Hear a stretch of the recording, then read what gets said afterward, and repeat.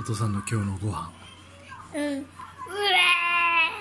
砂肝と柿のアヒー。ジョーうわーそんなに美味しそうなの初めて見る稲庭うどんとサーモンの刺身と砂肝のごまネギエリンギあえ。その横は？ビール。